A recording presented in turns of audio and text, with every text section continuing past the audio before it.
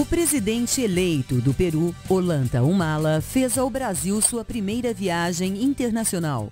Ao convidar pessoalmente a presidenta Dilma Rousseff para sua posse solene dia 28 de julho em Lima, o peruano valorizou o relacionamento entre seu país e o Brasil.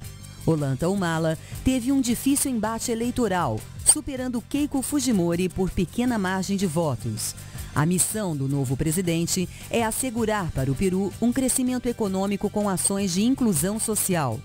Em coletiva de imprensa, Olanta Humala frisou que o Brasil é um modelo aprovado de estabilidade macroeconômica com inclusão social.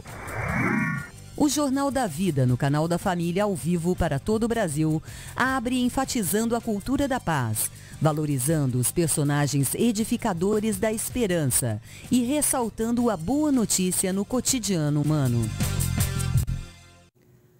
Boa noite. Hoje, 10 de junho, dia de Portugal, aniversário de 64 anos de Dom Fernando Saburido, arcebispo de Olinda e Recife. O Jornal da Vida começa agora com o giro das informações gerais. O presidente Cavaco Silva comandou as comemorações do Dia de Portugal, admitindo que o país vive difícil momento econômico. Portugal troca o primeiro-ministro, saindo José Sócrates e assumindo Pedro Passos Coelho. O ministro Antônio Patriota agendou presença na Comissão de Relações Exteriores da Câmara dos Deputados dia 15 de junho. O secretário-geral da ONU, Ban Ki-moon, programou visita à presidente Dilma Rousseff no próximo dia 16 de junho. O técnico Murici Ramalho afirmou que a Copa Libertadores é futebol e não guerra. O Santos faz a final do torneio contra o Penharol do Uruguai. O Papa Bento XVI acolheu as credenciais de seis novos embaixadores junto ao Vaticano. Em sua mensagem, o Papa lembrou que o primado da dimensão humana na política, na ética e na economia está baseado no respeito à dimensão transcendente. A presidente Dilma Rousseff trocou de posição dois de seus ministros. A atual ministra da Pesca, Ideli Salvati, vai ocupar a Secretaria de Relações Institucionais. Brasília. O Congresso lembra este mês o Dia Mundial do Meio Ambiente. As informações da capital federal com Luara Nunes. O Congresso Nacional vai comemorar em todo o mês de junho o Dia Internacional do Meio Ambiente, celebrado no dia 5 do mesmo mês. Apesar das polêmicas em volta das possíveis mudanças no Código Florestal, o Brasil ainda pode comemorar. É o que afirma este especialista que participou do Seminário Internacional sobre Mudanças Climáticas nos Estados Unidos. Comparando com outros países, nós temos muito que comemorar.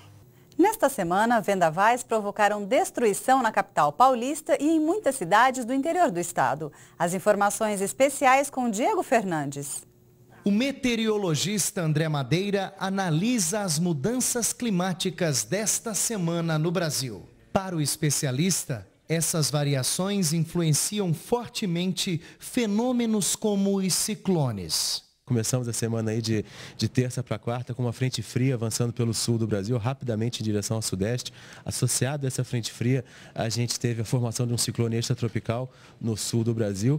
E esse sistema, frente fria e baixa pressão ou ciclone extratropical, provocaram ventos fortes no sul do Brasil, ventos fortes também em São Paulo. Tivemos rajadas de vento aqui na Grande São Paulo, tivemos rajadas de vento é, de 127 km por hora registrado aí na, na noite do dia 7 no aeroporto de Guarulhos. Então, todos esses ventos foram provocados aí por, por esse sistema. No mês dos namorados, Conte com um amor para se aquecer, pois a previsão é de temperaturas ainda mais baixas. Maio, a gente já teve temperaturas mais baixas em boa parte do centro-sul do Brasil, mais baixas em relação à média. E a tendência para junho é que a gente tenha também é, temperaturas aí um pouco mais baixas do que a média, ou seja, o inverno um pouco mais rigoroso do que o, o normal. Né? De São Paulo, Diego Fernandes, para a Rede Vida.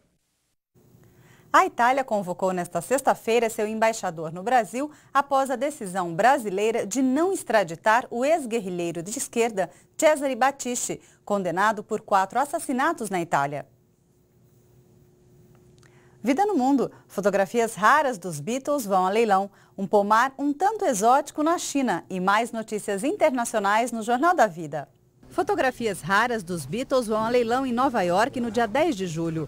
Antes de serem leiloadas, as fotos ficarão expostas em Londres. As cenas retratam momentos descontraídos do grupo. As imagens ficaram escondidas em um porão por mais de 40 anos. Em Nairobi, no Quênia, este babuíno adotou um gálago, ou mais conhecido como Bush Baby. Os dois vivem neste zoológico do Quênia e são inseparáveis. Onde um vai, o outro vai atrás e até as refeições fazem juntos. O Jornal da Vida termina aqui com um resumo de imagens e cenas que contam a trajetória da vida e a história humana. Na sequência, você acompanha o programa Tribuna Independente, ao vivo de São José do Rio Preto, que esta noite tem a presença do Bispo de Jales, Dom Demétrio Valentini. Uma boa noite para você e um ótimo final de semana.